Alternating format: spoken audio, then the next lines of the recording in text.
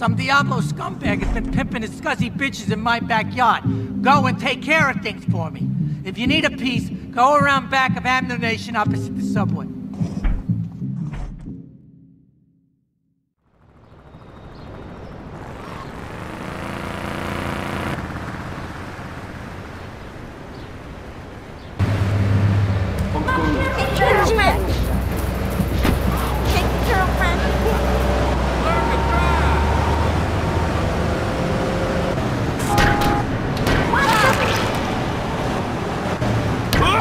Keep one eye on the road.